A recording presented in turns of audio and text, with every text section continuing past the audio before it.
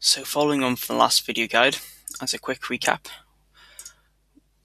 we now uh, understand the nodes interface and uh, we've uh, logged a few of our feeds to um, the emonPi locally and we can see the feed data, the feeds being updated um, here in uh, here at emoncms. So this is being logged locally to the emonPi's um, SD card. So now we'll take a look how we can uh, log the data remotely. We post it to an, a remote emoncms server. That could be emoncms.org or it could be emoncms um, installed of a server um, on, on, your own server. If uh, if you want to do that, it's all open source. You can download um, um and set that up. Um, we'll also cover in this guide um, how to um, add more nodes into the nodes interface and how, and how to configure these nodes. So to do this, we're going to delve into um, the emonHub configuration. So this this is a version uh, version one of emonHub. We hope to get all this um, um, wrapped up in a nice config configuration GUI. Um, but for now, we're, we're, we're editing the emonHub.conf file. Um, but to make it easy, we've uh, we've broken it out into a um, text editor here.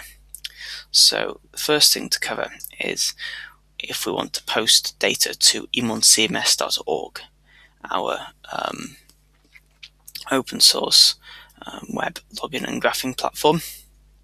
Um, it's very similar to the emuncms that's running on the Pi here, except it's running locally on our own servers. Um, this makes it easier for you to view your data um, when when out and about, um, since you don't have to connect locally um, to your emonPi. So if we scroll down here, um, the section we're interested in is the emoncms.org HTTP interfacer and the API key here. So all we need to do to post data to emoncms.org is, is go to uh, emoncms.org, create an account, then copy and paste the right API key into there. Save, save it, and uh, then away we go. So while we're here, let's just have a quick look at uh, what else we have in the config editor. This first section here um, contains settings for the RF module, so just what frequency it runs on. If you have an 868 module, you set that to be uh, 868. Um, if you're using a, a, US AC adapter at uh, on 110 volts, set this to be uh, 110 and you can also change the node ID and network group. Um, but these shouldn't need to be shouldn't need to be changed.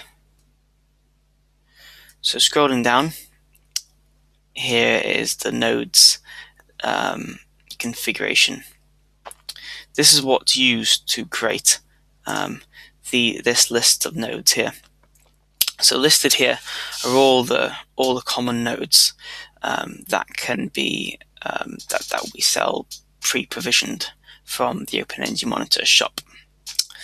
So we've got the, the emonPi itself, a couple of emonTHs on node 9 and 10, and an emonTH temperature humidity node on node 19, 20, 21, 22. And these nodes here um, can easily be set by just changing the hardware dip switch on the unit and the dip switch uh, position is indicated um, here um, in the node hardware description as well as the node firmware.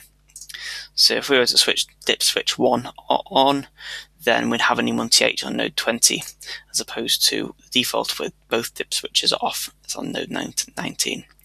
The node ID can also be chosen um, and pre-provisioned.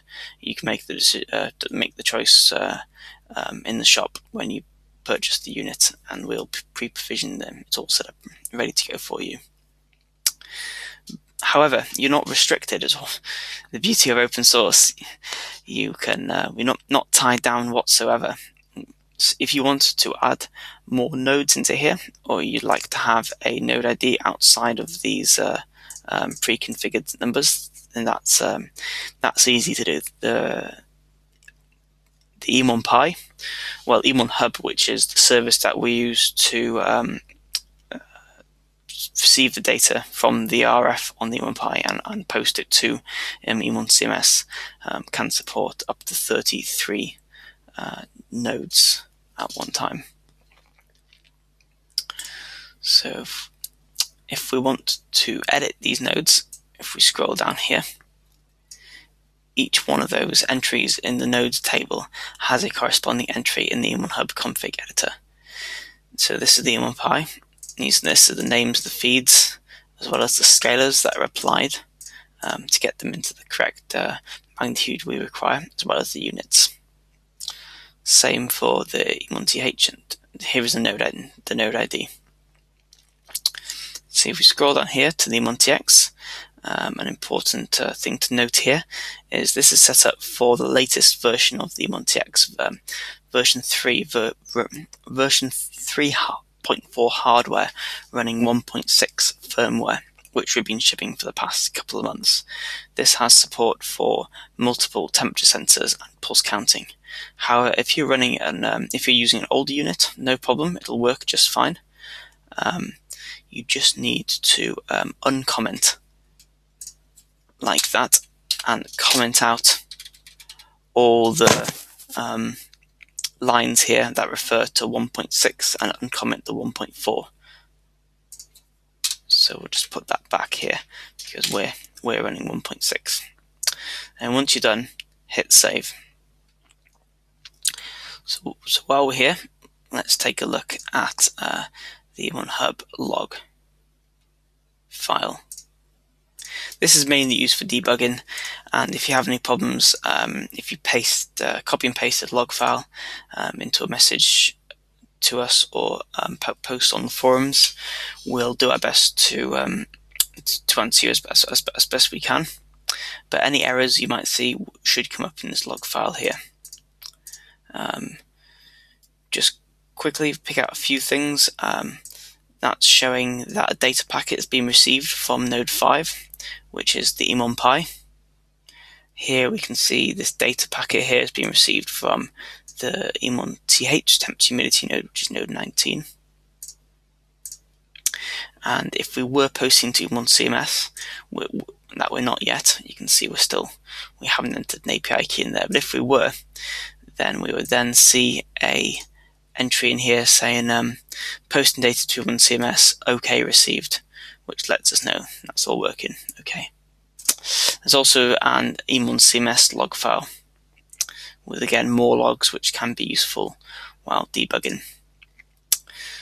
So in the next guide we'll cover um, viewing the data in Viz, various graphs and uh, creating creating dashboards. Thanks for watching.